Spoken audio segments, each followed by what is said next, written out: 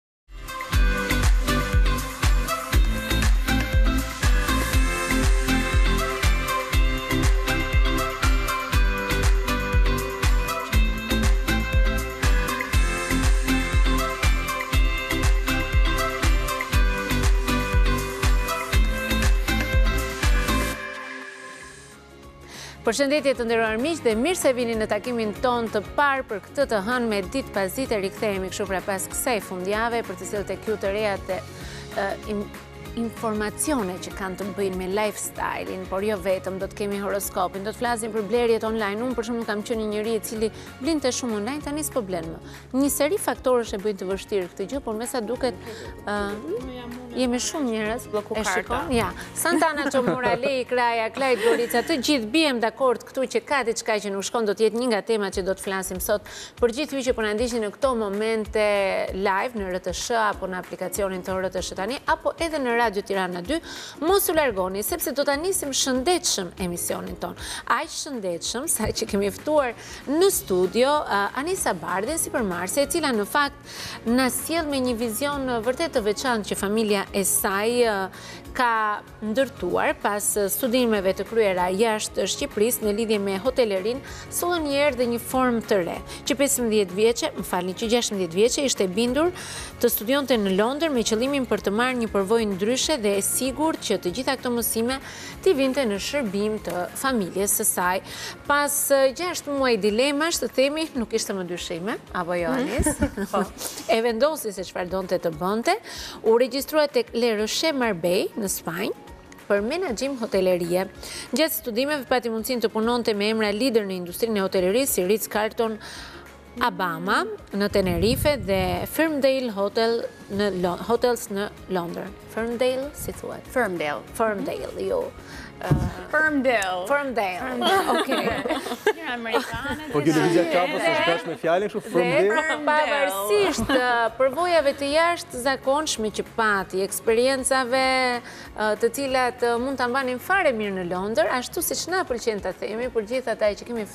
në emisionin tonë, vendosi të linte Londrën për Shqipërinë për të sjellë know-how-in e saj, pra atë që mësoi, mirë ti je si amerikane e vërtetë, bukur. Jo vetëm ajo, po ajo ka sjellë edhe bashkëshortin anglez në Shqipëri. Që të jetojë këtu, i tha anglezit, siç i tha Iva gjermanit, këtu i tha në Shqipëri. Dhe në fakt, sigurisht nuk do të ketë qenë i thjeshtë fillimi, por kam përshtypjen Santana, duke qenë se është e ftuara jote, po unë ta mora këtë pjesën e parë të hyrjes. Ishte e bukur pjesa. Gjithë këtë rrugëtimin tënd në Angli, na i përshkruaj pak faktin që ti që 16 vjeqe ke qenë shumë vizionare për të ikur dhe për të ndjekur atë qëllimin tënd në jetë. Si mbërrite në Londër, dhe të më pas të merrje një përvojë hotelerie në gjithë të Hotele që ne i kemi parë nga televizori, kemi parë nga fotografitë, e dimë se çfarë nivelesh janë, çfarë lloj përvoje more ti andej. Atëherë, faleminderit për ftesën. Unë kam vajtur në Angli 16 vjeçe, ka qenë një periudhë që gjithë brezi im donte ta mbaronte gjimnazin në Angli dhe të shkonte në Angli të shkollohej atje, me shpresën Që edhe të krijonin një karrierë, të shkonin, të vazhdonin universitetin atje.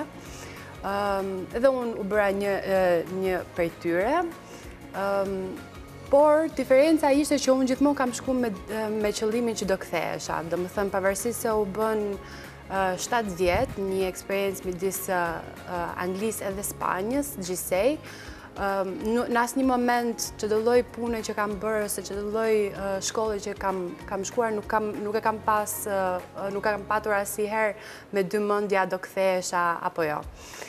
Pata një ngërç të vogël, mbasi mbarova gjimnazin, sepse zgjodha ekonomikun si degë të parë, vazhdova studimin për ekonomi në fillim fare në Angli dhe nuk më pëlqeu.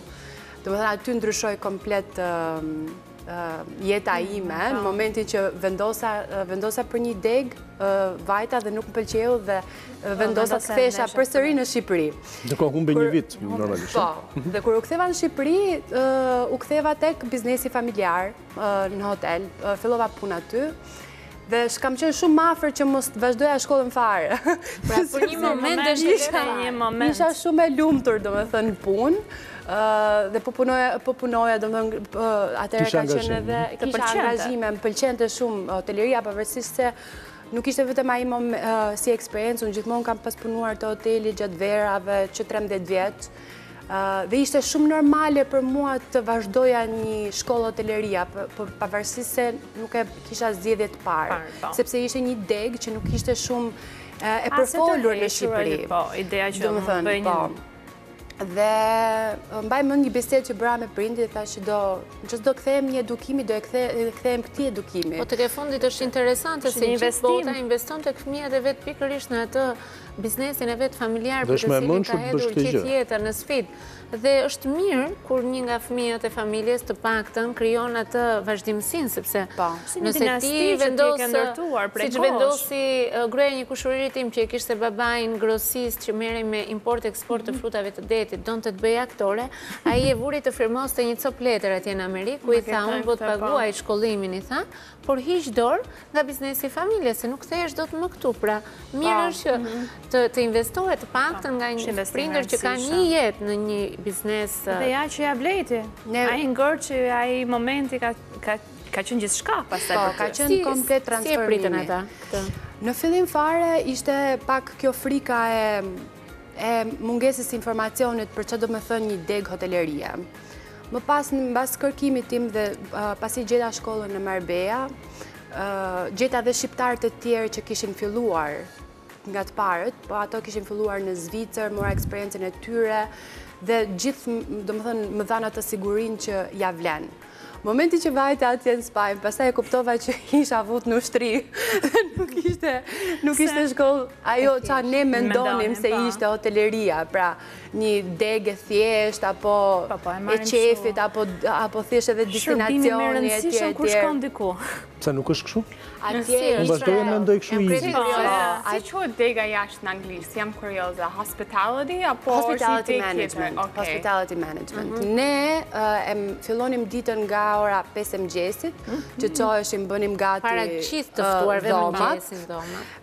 Vinin na kontrollonin dhomat a i kishim bërë gati sipas sipas standardeve të hotelerisë përpara se të filloheshin klasat rreshtoheshim rresht dhe na kontrollonin të gjitha a i kishim a kishim veshjen thonjtë a ishim larë çdo gjë çunave u kontrolloheshin çorapet a ishin xhaketa që i fikoheshe a i kishin hekurosur këmishën nga mbrapa Domethënë, detajiste në maksimum, dhe në momentin që ti nuk e mbaje atë standard, ti përjashtoheshe nga shkolla. Dhe nuk ishte një gjë që ti thjesht mund ta injoroje. Ishte një sistem pikësh, ushtrie, që ti çdo herë që ti nuk i përmbaheshe rregullave, qoftë për pjesën e paraqitjes, qoftë për pjesën e regjimit, e çdo gjëje, Ti përjashtoheshe nga shkolla, siç u përjashtuan shumë veta, që nuk e di. Si rezistove ti, o po, bre, vajza shumë bukur nga Shqipëria. Po. Fakti që është këtu dhe ia ka dalë. Po. Na nderove. Jo, e di qëfar është, e di çfarë është befasuese se sigurisht sot flas me një vajzë të re, një sipërmarrëse, njeri i cili jep modelin më të mirë të punës, ajo vinte në një familje me mirëqenie të lartë, po. dhe nuk ishte asnjë arsye përse t'i lejonte vetes të bënte këtë gavetën që i thonë italianët, pra këtë pikërisht këtë luftën kaq të madhe për të marrë këtë që mori. Megjithatë, ti rezistove dhe durove gjithë këtë. Dhe s'kam për ta harruar asnjëherë një zyshën time që në fillim fare kur pastronim pjatat, lanim pjatat për pjesën e restorantit, I bënim të gjitha gjërat që bën çdo person në hotel. Sepse ndryshe nuk e menaxhon dot. Sepse ai nuk e ta nuk e ta të gjitha shërbimet e mundshme të hotelerisë të ta kuptosh. Sepse ti atëherë nuk e di nëse ai që vjen pas teje dhe që do të jetë i punësuar yt e bën si duhet. Dhe ka mundësi shumë për të ta hedhur. Nëse ti je njeri që e kupton shumë mirë se si duhet bërë ajo, asnjë moment s'të mund ai. Të njëjtën gjë ka bërë dhe mamaja me fëmijët, me katër në dy restorantet, nëse kishim dëshirë për të punuar në Amerikë, në Kaliforni, do të lanim enët, do të pastronim, fillova si pastruese pastaj lava enët, pastaj... Jo këtë e kuptoj, po të shkosh në një shkollë dhe të mësosh këto gjëra, e ka pra se na duket pak si... Aty u bë një filtër, aty u bë një filtër, shumë veta vinin nga familje me mirëqenie shumë të lartë, dhe ishte filtri i parë. Domethënë në qoftë se ti futeshe brenda te pjesa e lavapjatës edhe nuk e kuptoje pse ti një javë duhet të laje pjatat e restorantit, a ti ikje, ishte filtri i parë. Pra ti nuk je për këtë punë domethënë. Nuk je për këtë punë, nuk je për hoteleri. Për inventori, është për shumë gjëra. Dhe po thoja që zysha ime thoshte që ju duhet të fillosh nga zeroja. Edhe ju po filloni nga zeroja, kjo është. Ke qarë ndonjë ditë kështu nga inati? Jo vetëm një? Jo nga inati, kam qarë nga nga fakti që isha e lodhur, domethënë nga ose kjo, derisa të bëhesh e aftë, në fillim fare duket shumë e vështirë, të dhembin këmbët, durim, të duhet durim, kjo komplet pjesa e bashkëpunimit, e tjera, e tjera, domethënë është, Është shumë sfiduese. Por ti nuk e mendon me atë me atë idenë që është e padrejtë, që unë po paguaj lekët edhe tani nuk kam pse ta bëj këtë gjë. Ti e kupton pse po e bën atë gjë. Domethënë po e bën sepse Kjo është e rëndësishme se, sepse të krijon karakterin në të ardhmen edhe është ajo që të jep vetëbesimin Pavarësisht moshës, në momentin që ti diplomohesh nga ajo shkollë, ti ke vetëbesim të futesh në çdo lloj biznesi sepse i ke i ke prekur të gjitha. Dhe ti mendon që ia ka vlejtur t'i bëje të gjitha nga a-ja te zh-ja ato atje? Po, pastaj që bëre në këto bashkëpunime që bëre me hotelerinë në Londër dhe në Marbella pastaj në Spanjë? Arsyeja pse unë u ktheva në Londër, Ishte sepse... Qesh dhe vetë kur i kujtohet, është ka sens humori të paparë, Nisa. Arsyeja pse unë u ktheva në Londër, ishte sepse u dashurova në Spanjë me një anglez, oh, jo sepse nuk oh, isha e lumtur në Spanjë me një anglez. Shyqyr Zotit shkolla ime kishte edhe një uh, shkollë um, sister school, uh, motër, po, në Angli, edhe mund të transferoja komplet jetën time dhe të mbaroja shkollën aty. Dhe diferenca midis Spanjës edhe Anglisë ka qenë nata me ditën. Ishte më strikte Anglia apo Spanja? Më strikte Anglia. Dhe nga ana e konkurencës për karrierë, dhe nga ana e strukturës që ka Londra, dhe mentalitetit edhe njerëzit që jetojnë në Londër. E pate më të vështirë aty? Po. Në Londër filloi vështirësia ime me regjimin ushqimor. Tani duhet të ndalim te regjimi ushqimor. Po, të flasim tek arsyeja se si ti përveç se u diplomove për të, ndërtove dhe një filozofi për këtë gjë bazuar në eksperiencën personale. Po. Çfarë ndodhi me ty? Domethënë, arrite për shkak të kequshqyerjes apo orareve të shkoje më tepër se ç'duhej në peshë, çfarë ndodhi tamam? Atëherë, Kur unë, kur jetoja në Spanjë, pavarësisht se kishim një jetë shumë të lodhshme me aktivitetet e punës edhe edhe gjithë gjërat me radhë, kishim edhe aktivitetet fizike brenda. Ishte mentaliteti i tillë që ishte kultura e tillë që ti edhe punoje edhe shkoje në palestër edhe ecje edhe të gjitha. Kurse në Angli komplet mentaliteti dhe kultura ishte fokusuar te ushqimi. Ha dhe dalim pimë një birrë. Domethënë çdo, ti momentin që çoheshe në mëngjes, muhabeti i parë ishte ça do hamë. Ça do hamë për mëngjes, ça do hamë për drekë, ça do hamë tani, ça do hamë pastaj, pavarësisht që ti ishe gjithë ditën në punë. Në punë në një restorant me shefa guzhine që s'ta prishnin për asnjë gjë. Dhe e kishe gjithë kohës ushqimin gati. Në Spanjë punoja në një resort më të madh, që kisha mundësi të ecja gjatë gjithë kohës, kurse në Angli në vende shumë më të vogla, në butik hotel, që ti pavarësisht se punoje 12 orë, ti nuk ishe duke ec po, shumë. Nuk bëje ndonjë aktivitet fizik. Ti lodheshe fizikisht, por jo, mendërisht, por jo fizikisht. Dhe në momentin që mbaronte puna, pastaj Ti e shifje ushqimin si një diçka që... Si një kënaqësi që duhet të bësh gjithë kohës. Po një marrëdhënie... Për të hequr dhe stresin. Jo e shëndetshme. Nga ato që të bëjnë nga të po. obsesive. Po, domethënë... Që ha. Edhe mua më ndodh që në momente që jam e lodhur dhe e stresuar ha shumë dhe atëherë shtoj në peshë. Ka njerëz që e kanë tipikisht të kundërt, ka njerëz që kanë këtë approach. Unë, po jam e mërzitur, e lodhur, e po. stresuar, rri me kokë në frigorifer, mund të ha gjithçka. Që me kokë në frigorifer, ndoshta jo. Po.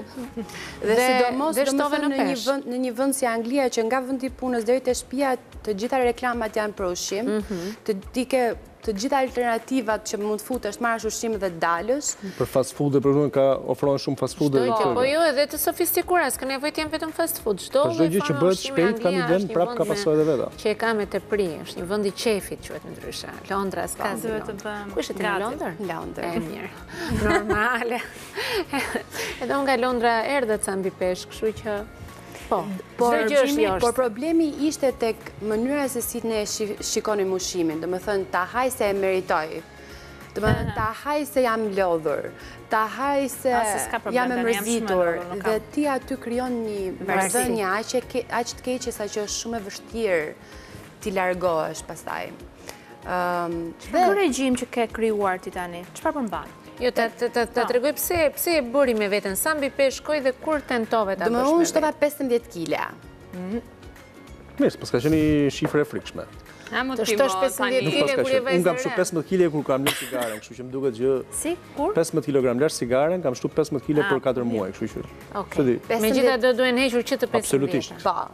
Pesëmbëdhjetë kile janë shumë. Për një kohë të gjatë, po, janë shumë. Dhe kur u ktheva në Shqipëri nga Anglia, ishte akoma dhe më e vështirë. Domethënë kjo pjesa e krijimit të regjimit, e Restoranti, hotelit, ha. Gjithandej, ha. Me yndyrë me... Më shumë kjo pjesa edhe e lidhur me stresin. Domethënë çdo lloj gjëje që vjen si stres, gjë që vjen si tranzicion, apo duhet ti do ta kënaqësh veten me ushqim. Dhe aty krijohet ajo varësia. Aty ku unë fillova rrugëtimin tim të regjimit në karantinë. Në momentin që s'kisha më përgjegjësi, s'kisha më stres. Fillova të mendoj për veten. Nuk je vetëm, në fakt kam njohur shumë njerëz të cilët përgjatë karantinës kanë gjetur kohë të merren me veten për një. Ka qenë një lloj regjimi mendor, të themi katarsis për mendjen që kanë bërë një bilanc me veten, kanë thënë, prit se, ndalemi, dhe të marrim masat. Unë kam përshtypjen që unë isha si, unë u futa në formë mbijetese, me kuptimin e fjalës, domethënë, duke kalu nga një person që ishte çdo ditë shumë aktiv, mhm. dhe i stresuar dhe i mbingarkuar me përgjegjësi të ndryshme, te një person që nuk i binte më telefoni për asnjë gjë. Domethënë nuk kishte më përgjegjësinë as të punëtorëve, as të klientëve, të asnjë lloj gjëje, dhe tani duhet të merresha me diçka. Dhe ajo ishte pikërisht pra kjo krijimi i regjimit, që ti çohesh çdo ditë në të njëjtin orë. Mhm. Dhe mbasi çohesh ti ke një ritual. Ai rituali është se si ti kurohesh për veten tënde se si e pastron lëkurën e gjitha. Ça ça përgatit për mëngjes. Domethënë tashmë karantina u bë gjëja e mirë e ushqimit. Domethënë që se ti kishe kohë të përgatitesh dhe të kënaqesh. Që nga orari i zgjimit pra, nuk është pak. Domethënë, që nga po. momenti një rutinë të mëngjesit, që të merresh me veten dhe të bësh ushtrimet e duhura, apo të merresh dhe po. me fytyrën, Është një risi, përsëri për ty, domethënë gjithçka fillon nga vetja, po. nga kjo përvojë që ti ndiheshe keq me veten. Po. Të paska bërë mirë karantina. Të paska bërë vërtet mirë. Regjimi që ça përmban, dua ta di. Domethënë, kemi përveç ushqimit, kemi dhe gjëra tjera? Regjimi ka është një formë mirëqenieje, mhm. që ka brenda të përfshirë ushtrimet, mhm. ushqimin, edhe përkujdesjen për lëkurën. Ke marrë ndonjë formulë të gatshme, apo më shumë ka qenë përvoja jote dhe ke thënë që ky ushqim vlen, ky ushqim më bën, ky ushqim realisht nuk më bën mirë për tretje. Domethënë, çfarë, çfarë, ka kombinime, si është kombinimi i formulës tënde? Pra, tani, i shtove 15 ti, po, si do të dobësohemi ne? Si t'i heqim ato 15? Atëherë, unë për 2 muaj, rashë përsëri 12 kila. Gjatë kohës së karantinës. Dy muaj ke rënë 12 kile. Po, po. Ashtë, që ta dish. Oke, këtë nuk e kam bërë. 12 muaj. Dhe pikërisht, domethënë ndodhi me një... Domethënë i vendosa qëllim vetes që nuk do heq dorë nga asnjë gjë që më pëlqen. Por ama do e mbaj të shtunën ose të dielën, dy ditë. Po, dy ditë janë të diela. Dy ditë të javës, po. Domethënë dy ditë javës do ta kem aty, atë picën që më pëlqen, atë po, ëmbëlsira që më pëlqen. Nga hëna në të premte, do ha ato që i duen trupit tim. Dhe krijova një një regjim bazuar mbi kalori... Për llogaritjen e kalorive. Llogaritjen e kalorive. Një llogaritje e kalorive që është deficit. Për e të kaluar një një një kalorive në ditë, po. E bërë vetë, të gjitha. Po. E gjitha ishte kërkesa jote. Domethënë, kalkulimet ishin me gjithë proteinat, karbohidratet, normalisht me kërkim, se nuk mhm. është... Po.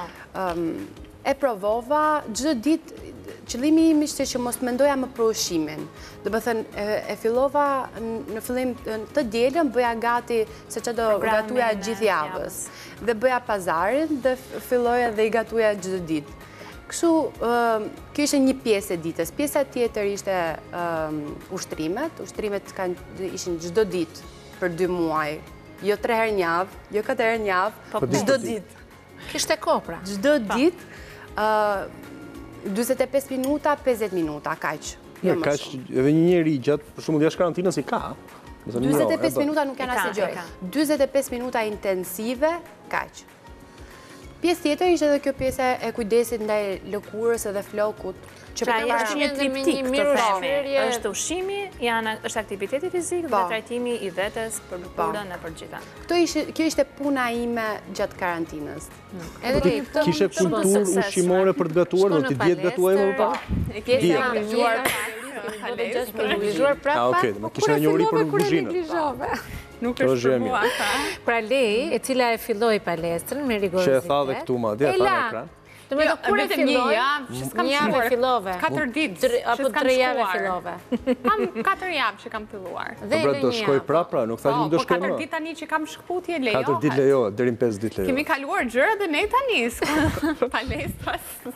Nuk jo pra jo, thjesht të umbet jo pra mendjen palestra. Nuk duhet të heqësh dorë sepse të qenit sistematik është ai që sjell atë uh, tjetër pra. rezultatin. Pjesa e regji, uh, domethënë regjimi, ajo që më bën të ndihem më mirë është që tani ka kalu 2 vjet nga karantina edhe unë nuk kam ndryshuar nuk ke marrë peshë edhe pse stili yt i jetesës ka rënë në të njëjtat ritme pak a shumë frenetike që ke patur më përpara Po, pavarësisht se nuk... E mësove veten, po. mësove stomakun, mësove...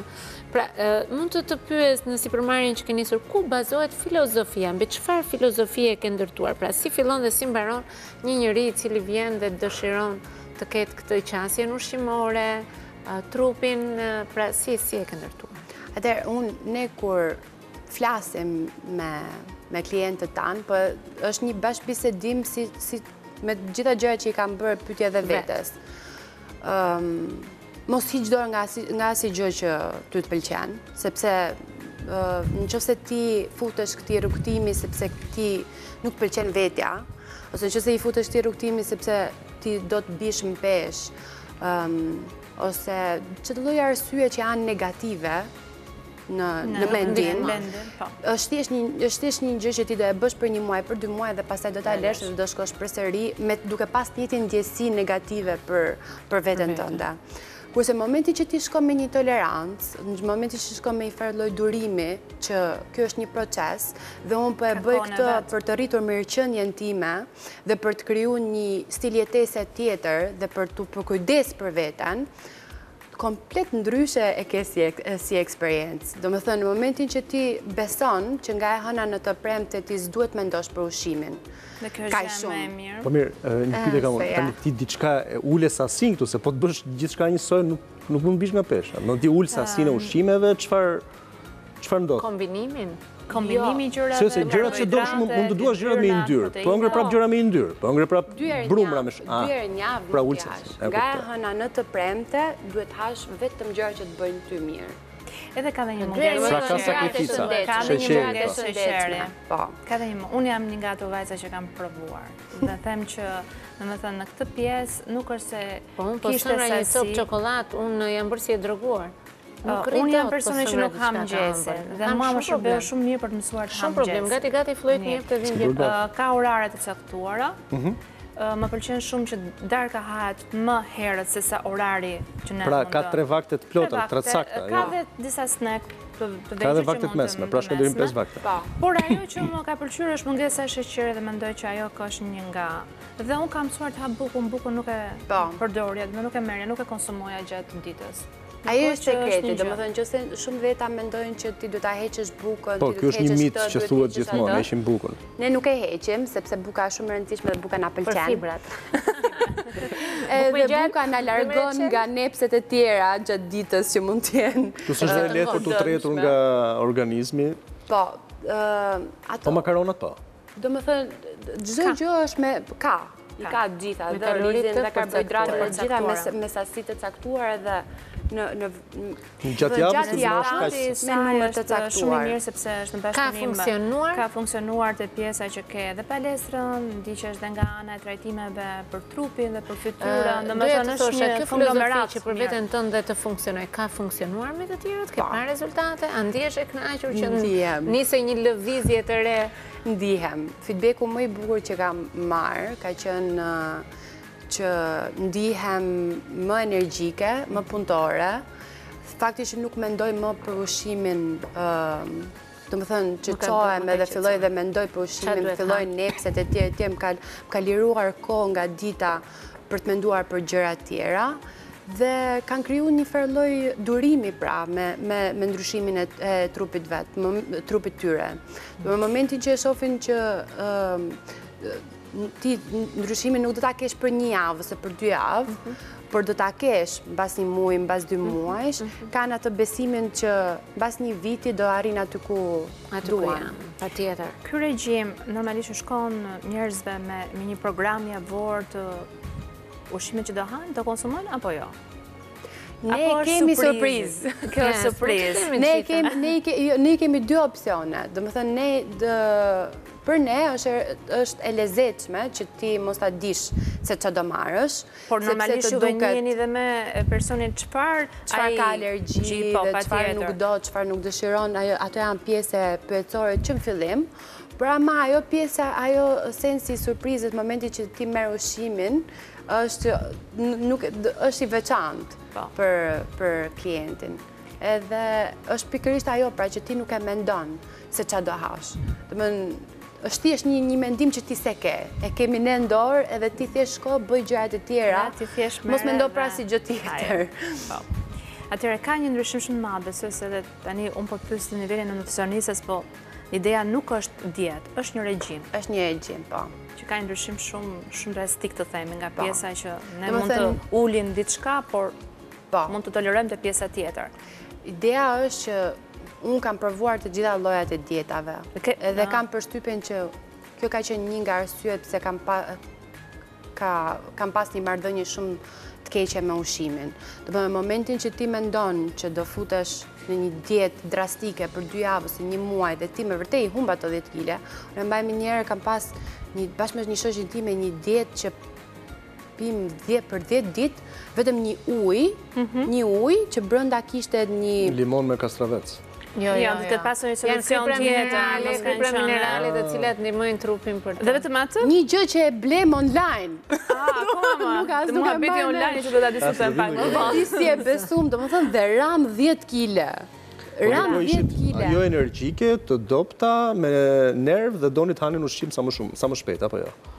Mbasi ramë 10 kile. Mbas 10 kile është nuk e kuptonim se kush ishim, nuk e mbanim mend, domethënë. Por, e ashtu siç i lamë, ashtu i morëm prapë dhe u mërzitëm shumë.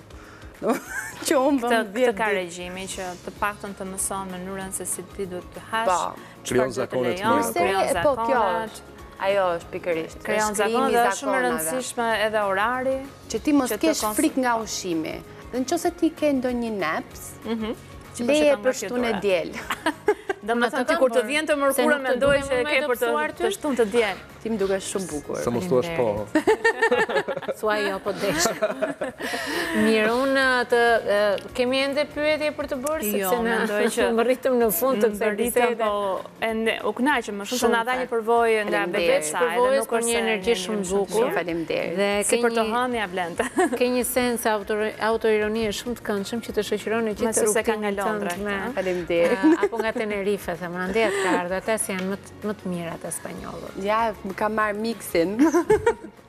Dhe pak nga Tropoja, të po. mos të harrojmë dhe këtë sepse është shumë e rëndësishme prejardhja e saj, e kanë sensin e humorit gjithmonë. Faleminderit shumë që ishe. Shumë faleminderit, shumë faleminderit për ftesën dhe ju. Falim e re. Do të shkëputemi këtu për pak minuta, do të shkojmë në pjesën e dytë, siç e thashë dhe pak më parë, në fillim të këtij emisioni, do të flasim për blerjet online. Pse janë bërë aq të vështira së fundmi? Kthehemi pas pak.